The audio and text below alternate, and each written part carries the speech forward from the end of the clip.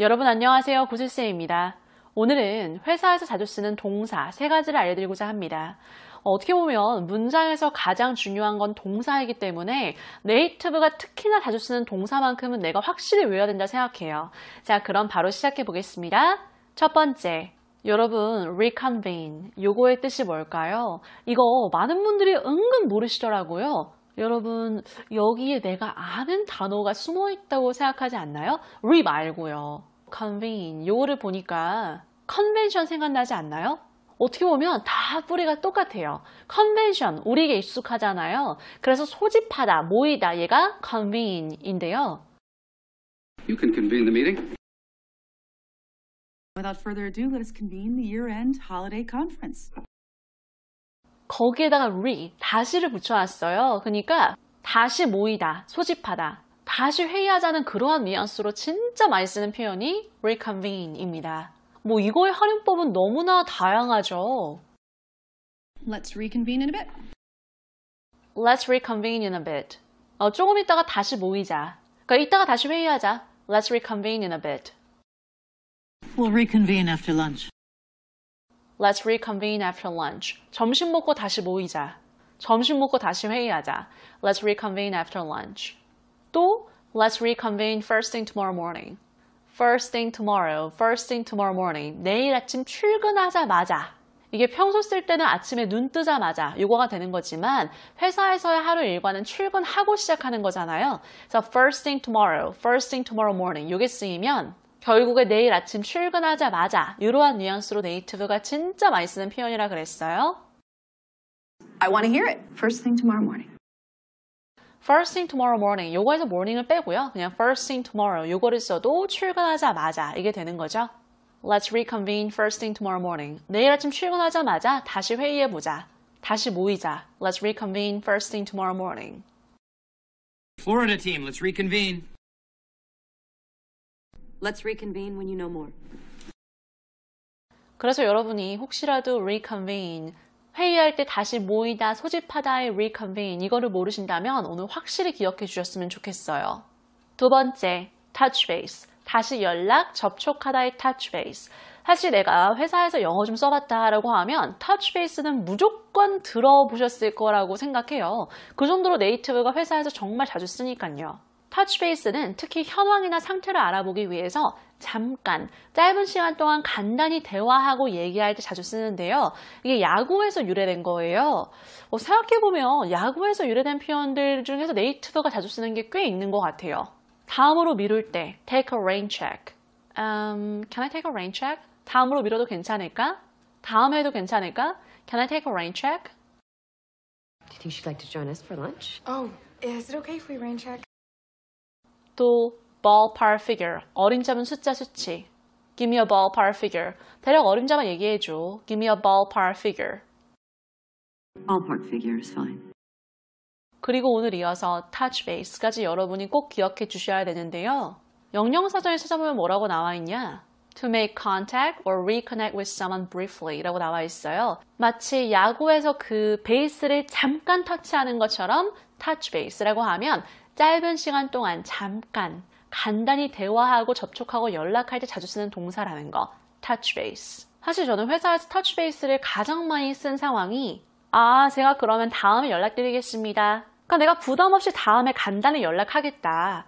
이때 자주 썼는데요. 예를 들어 상대가 I don't think we can move forward with your proposal. 아, 제안하신 거대로 move forward. 진행하기 좀 어려울 것 같아요. I don't think we can move forward with your proposal. We have a lot on our plate right now. 아, 지금 저희가 좀 해야 될 게 많아서요. 바빠서요. We have a lot on our plate right now. 이렇게 얘기했을 때 I understand. 아, 네, 이해합니다. 알겠습니다. 근데 이렇게 이해합니다, 알겠습니다 하고 전화를 끊으면 좀 그렇잖아요. 그러니까 얘기하는 거죠. I'll just touch base with you sometime next month and see where you're at. 그러니까 지금 상대가 노라고 했어도 지금은 좋은 타이밍이 아니라고 했어도 다음 달은 또 어떻게 될지 모르잖아요. 그러니까 다음 달 중에 다시 연락드릴게요. I'll just touch base with you sometime next month and see where you're at. 당연히 다음 달은 약간 조금 연락하면 상대가 짜증날 것 같다면 next month 대신에 조금 더 기간을 길게 잡아도 괜찮죠? I'll touch base with you in a few months. 어, 몇 개월 있다가 그냥 간단히 한번 연락드릴게요. I'll touch base with you in a few months. 이렇게 in a few months 써도 괜찮고요. We're not sure yet. But we can touch base again next week. 그리고 또 상대에게 어느 정도 생각을 해볼 시간을 주고 나서 상대가 어떤 생각을 가지고 있는가, 상대가 어떤 상황인지 그걸 확인차 연락할 때도 touch base를 쓸 수 있는데요. I just want to touch base with you and see where you're at. 여기서의 where you're at 이거는 상대의 진짜 물리적인 그러한 장소의 위치를 물어보는 게 아니라 상대가 어떤 상황이고 어떤 생각인지를 알아보기 위해서 touch base 하고 싶었다. 확인차 연락 드린다. I just want to touch base with you and see where you're at. Just wanted to kind of touch base, say hello. 이 touch base란 단어 자체가 잠깐, 짧은 시간, 간단히 대화하다, 연락하다, 접촉하다 이거기 때문에 그 연락을 받는 상대로 하여금 부담을 덜 줘요. 아, 그냥 이 사람은 그냥 확인차 잠깐 연락한 거구나. 약간 이런 느낌을 준다는 거죠. No big deal. Just wanted to touch base. Well, let's touch base with her first thing tomorrow morning. 내일 아침 출근하자마자 그녀에게 한번 연락해 보자. Let's touch base with her first thing tomorrow morning. 이렇게도 쓸 수 있습니다. 아, 여러분, first thing tomorrow, first thing tomorrow morning. 요거는 진짜 출근하자마자 이거는 꼭 기억해 주셔야 돼요. Is it okay if I get back to you first thing tomorrow morning? 내일 아침 출근하자마자 연락드려도 괜찮을까요? Is it okay if I get back to you first thing tomorrow morning? 아니 누가 퇴근 시간 지나가지고 연락을 했어요. 그때 약간 짜증 나지만 그 짜증을 꾹꾹 눌러가지고 이렇게 얘기해야 되겠죠? 아, 제가 지금 퇴근해서 또는 그 정보나 자료가 저의 앞에 없어서 제가 내일 출근하자마자 다시 연락드려도 괜찮을까요? Is it okay if I get back to you first thing tomorrow morning? We'll get to it first thing Monday. 자, 그럼 세 번째. quote. 이거 들어가도록 하겠습니다. quote. 이라고 하면 어떤 뜻이 생각나시나요? 인용하다. 명언. 요런 게 생각나죠? 자, 그럼 여러분, quote. 이거 언제 쓰세요? 딱히 생각이 안 난다. 그럼 여러분이 무조건 외워야 되는 거 두 개가 있어요. 저는 여러분이 어떤 단어를 보고 뜻 외에도 실질적인 활용법 한 개씩은 이렇게 연결지어서 외웠으면 좋겠어요. quote, 인용하다 명언. 요것만 외우고 넘어갔자 뭐 일상에서 못 쓰면 아무 쓸모없는 거잖아요. quote, 이거 쉽게 쓰는 법. 첫 번째, don't quote me on that. 아, 제가 이걸 사실 오늘 실현되는 이유가 있어요. 이거를 사전에 찾아봤더니 아니면 말고 이렇게 나오더라고요. 어, 뭐 아니면 말고라고 의역할 수도 있지만 또 이거는 말투에 따라서 조금 성의 없어 보일 수도 있잖아요. 진짜 빛을만하게 쓸 수 있는 활용법이 따로 있는데 자 일단 don't quote me on that 이거는 기본적으로 내가 틀릴 수도 있으니까 내가 한 말을 다른 사람에게 전달하지 말아라 인용하지 말아라 요 뉘앙스로 어 나도 확실치는 않아 내가 틀릴 수도 있어 약간 내가 상대에게 어떤 정보를 주는데 100% 확실치는 않은 거예요. 그때 내 자신을 보호할 수 있는 정말 좋은 표현이에요. Don't quote me on that. I'm rusty on my biology. 예를 들어 제가 sprinkle, 이 sprinkle이 뿌린다는 거잖아요. 이 뿌리다라는 sprinkl의 단어를 알려드리면서 어? 근데 생각해보니까 그 뿌링클 치킨 거기가 이제 소스 같은 게 시즈닝 같은 게 뿌려져 있어가지고 그 sprinkle, 뿌링클 이게 뭔가 연관되어 있는 것 같기도 해요.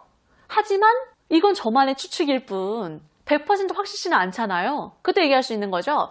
아, 걔는 연관되어 있는 것 같긴 한데 근데 내가 틀릴 수도 있어. 그니까 don't quote me on that. I guess it's about $240, but don't quote me on that. 이걸 안 쓰면 여러분이 다음에 뿌링클 드실 때 어머나 어머나 내가 유튜브에서 구슬쌤에게 들었는데 구슬쌤이 이 뿌링클 치킨의 그 유래가 스프링클 뭐 시즈닝을 뿌려가지고 그거하고 연관된 거래 이렇게 제가 얘기한 거를 인용해서 다른 사람에게 전달할 수 있잖아요. 실질적으로 그게 사실이 아닐 수도 있는데 그러니까 약간 내가 어떤 정보를 전달하면서 긴가민가 할 때 그게 100% 사실인지 확실치 않을 때 안전망을 씌워 놓는 거죠. Don't quote me on that. 아, 내가 틀릴 수도 있어. 확실치는 않아. 그러니까 다른 사람한테 막 여기저기 가리면서 전달하지 마. Don't quote me on that. She's Guatemalan? No, no, don't quote me on that. You bet there'll be consequences. Obviously, you can quote me on that. 그래서 나도 확실치는 않아. 내가 틀릴 수도 있어. 요거에 don't quote me on this를 꼭 기억해 주셔야 되는데요. 근데 여러분, 이거 외에 하나 더 기억해 주셔야 돼요. 견적, 견적의 quote. 이거를 꼭 기억해 주셔야 되는데요. 저는 여러분이 진짜 quote 이 단어를 보면 don't quote me on this 요거 하나하고 견적의 quote까지 꼭 기억해 주셨으면 좋겠어요. 어, 많은 분들이 견적이라고 하면 quote 대신에 estimate을 생각하시더라고요.